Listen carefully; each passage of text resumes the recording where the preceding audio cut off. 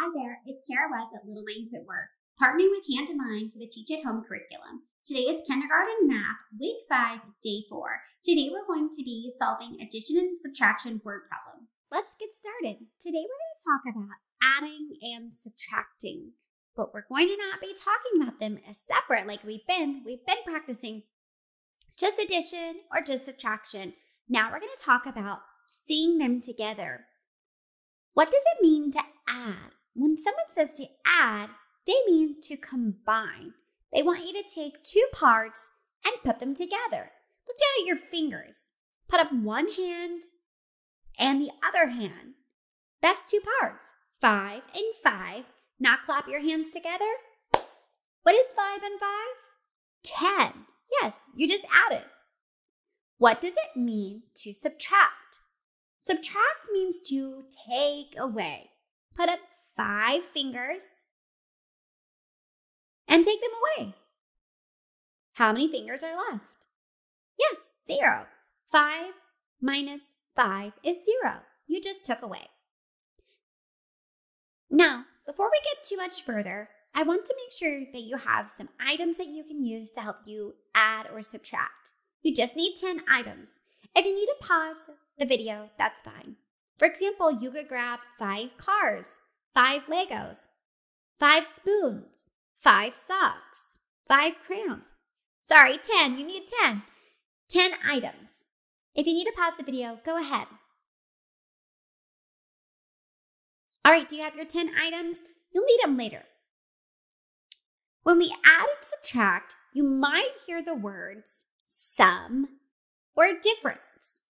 You have to be listening for those words to know what you need to do. Do you need to add or do you need to subtract? Sum means to add, and we know we're adding when we see this symbol. Can you use two fingers to make that symbol?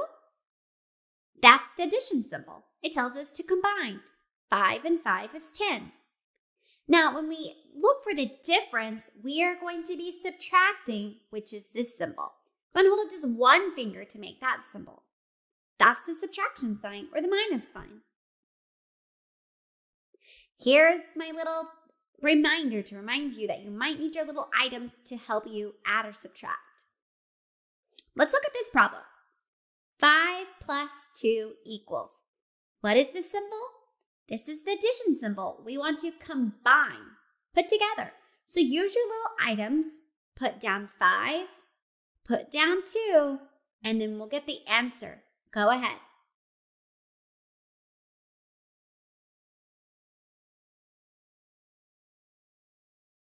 All right, five and two is, yes, seven. Good job.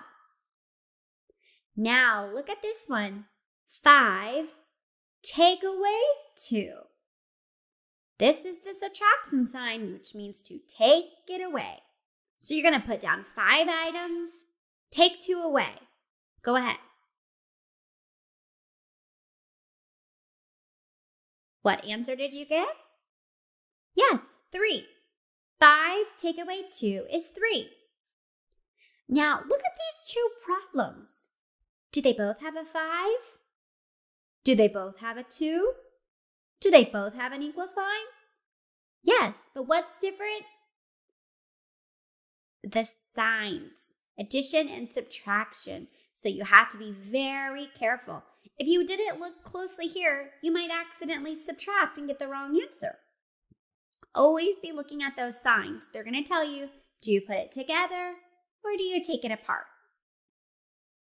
Let's look at this next problem. Go ahead and grab your items. 8 plus 2. What are we going to do? Combine. We're going to add.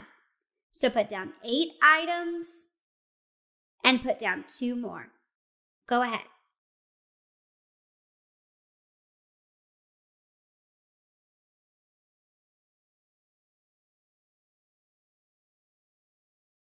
What answer did you get? Yes, 10. 8 plus 2 equals 10. Now, what does this symbol tell us to do? Take away. You're going to put down 8 items take away 2. Ready?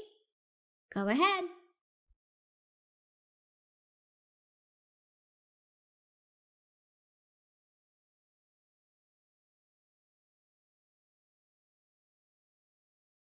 What answer did you get? 6. 8 take away 2 is 6. Look at these problems. They look almost the same. The only thing different is that symbol. We always have to be looking to see, are we going to add or are we going to subtract? Ooh, look at this one. You know what? If you need your items, that's A-okay. But these remind me of the doubles that we've practiced with. Also, sometimes using my fingers is just faster. So I see the problem 5 plus 5. So I'm going to combine my two sets, 5 and 5, to get how many in all? Go ahead and see if you can solve this one.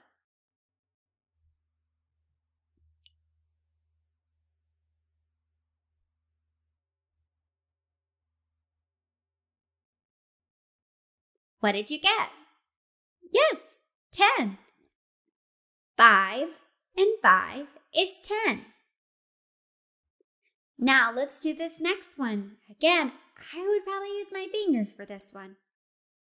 5 take away 5. So we have 5. We're going to take away 5. What answer did you get? Yes, 0. 5 take away 5 is 0. Again, we have to pay so close attention to those symbols. They tell us exactly what we need to do. Are we going to combine or are we going to take away?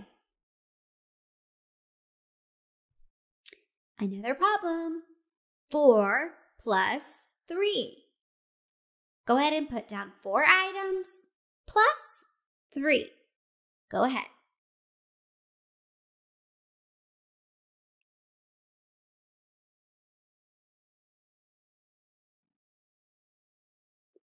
What answer did you get?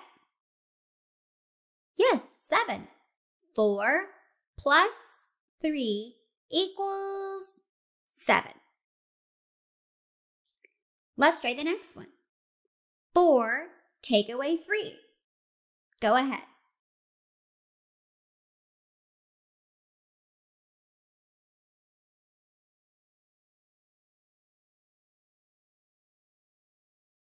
What answer did you get?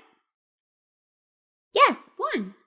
4 take away 3 equals 1. Today, you're going to get to do this really fun practice sheet. You're going to take a line and match it from one equation to the answer. Now, I'm going to tell you a little secret. Are you ready? You have to pay so close attention to the symbols. Look, you have addition symbols, you have subtraction, subtraction, addition. Remember, pay close attention to those symbols. They'll tell you exactly what you need to do. Are you going to add or combine? Or are you going to subtract, take away? Look at those words up there. We talked about those. Draw a line from the number sentence to the sum or difference. Sum is addition, combining them. Difference is subtraction, taking them away.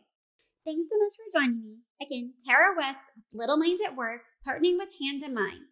You can find additional resources at www.littlemindsatwork.org or find me at www.shoptarawest.com. Thanks so much.